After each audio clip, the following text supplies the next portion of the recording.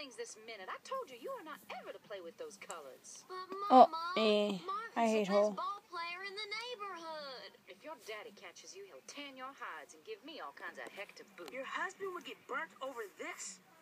Man, tell him to get a life. Mind your tongue, you little uppity colored brat. I want you people to stay away from my boys, you hear? Oh, ow, ow, Ma. Say what? You people? Miles and I are best friends. We hang out all the time. Well, it ain't natural, I tell you.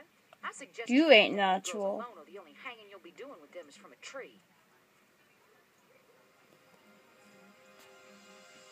Man, she hates us and she doesn't even know us. What's to know, Miles? Our skin is darker than hers. She thinks we're different. And that's what she hates. Well, if she hates me, I'll hate her back. Own it. What'll that solve? My daddy says hate is rooted in fear. And the only cure for fear and hate is love. We should love someone who hates us? Why? Somebody's got to start the change. Man, things are sure different where we come from. Where's that? The future, dude. The future. The future. Now there's a laugh. Well, you've been reading too many comics. Now that's my pops. I gotta go. I would love to meet Martin Luther King in real life. Hey, Martin, you forgot your.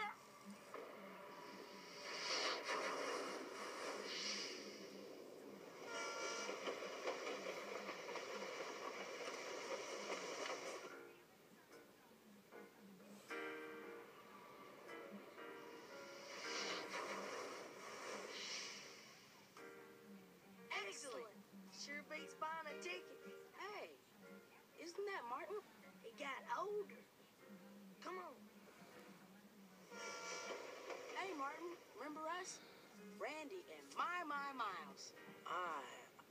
Sorry. I. Nice jersey. Yeah. Remember? Hank Aaron, Dirtfield, playing ball with the Dale brothers? The Dale brothers. They moved away over three years ago. Three years. Whoa, this is beyond awesome. Pete this. We're kicking it in this museum and we got completely zapped to time. And we you gotta excuse Randy. He doesn't get out much. So, what you been up to? I spent this past summer in Connecticut, picking tobacco to earn money for college. You don't look old enough for college. Well, I'm only 15, but I graduated early. How'd you do that? Well, I bet my older sister, Christine, that if I studied hard, I'd graduate early and go to college with her. Now I'm heading back to Atlanta before school starts. I can't wait to rub it in. Ooh, she's gonna be hotter than a four-alarm fire. Have your tickets ready. Tickets, please. Tickets, have them ready. If you close that curtain, it'll be hot in here. Sorry, son. We're about to cross the Mason-Dixon line. Young man, you best move to the other part of the dining car. How come? Because this section for colors. But I want to ride with my friends. Suit yourself, then. Zillions, fellas. Don't even change out of them silly costumes to ride the train. Blacks and whites can't eat together. That's nuts. Negroes and whites don't associate in the South. I can see nothing more urgent for America to work passionately and unremittingly to get rid of the disease of racism. Well, like we said, it's not like that where we're from. So exactly where's that? Uh, out of town. Way out of town. Mm, something sure smells good.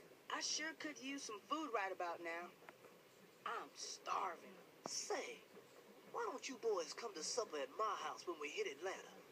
My mama's home cooking is hot, tasty, and unsegregated. Martin, you've got yourself an idea. Unsegregated. I hope you fellas like baked honey chicken and yams. Everything smells great, Mrs. King. Yeah, thanks for having us over. I'm afraid I've never met you two young gentlemen before. We're from out of town, Reverend King. Yeah, way out of town. They do appear a bit way out at that. Our parents were, uh, detained out of town. So Martin said he'd look after us. Who'd want you to babysit? You're nothing but a baby yourself. I'm just practicing for when I have to babysit you at college. You're funny, don't you? So, what are your friends going to do while we make our rounds later? They can wait in my room. Rounds. What's that? Shut-in rounds. My dad is a minister, and he visits sick and elderly people who can't leave their homes. A man has no greater purpose in life than to serve his fellow man. I've tried to instill that message into all my children. It may help you too someday when you're back way out wherever. Yes, sir, Reverend King. You can stay here until I finish rounds with Daddy. Help yourself to any of my things. My house is your house. Thanks, Martin. Yeah, thanks, man. Don't you think it's kind of cool that he's always doing good things for other people? Check it out, Miles.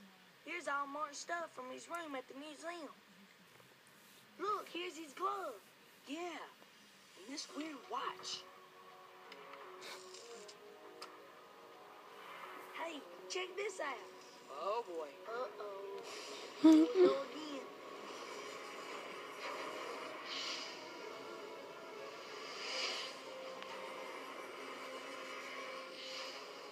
Where are we now? Look at this. Now I wish I knew my history. We will do it in an orderly fashion. This is a non-violent protest. We are depending on moral and spiritual forces, using the method of passive resistance. It's 1956, and we're in Montgomery, Alabama.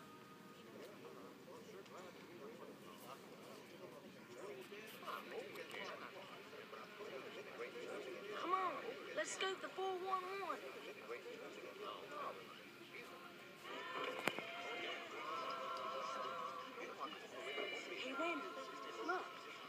Isn't that Martin? Radical. Two minutes ago, he was 15. Martin! Hey, Martin! Good, good. I'm glad you've come. No, no, Martin, it's us. The kid from the Sandlot and the train and... Nice guy, but he's got to work on his memory. Guess it's time to fess up. I'm not sure how, but we're sort of time traveling through your life. Time traveling through my life. Is that one of those new television shows or something? No, no. I mean, hey, Miles.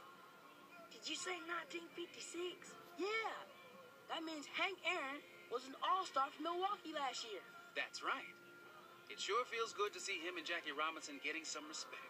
What's going on here, Martin? Boycott meeting. A Negro woman named Rosa Parks was tired and refused to give up her seat on the back of the bus to a white person. They threw her in jail because there's a city ordinance which says that a Negro has to give up his or her seat if a white person wants it. That's the law? But it was Rosa's seat first. But until that law is changed, no man, woman, or child of color is going to ride the bus in Montgomery. It's called a boycott. Reverend King,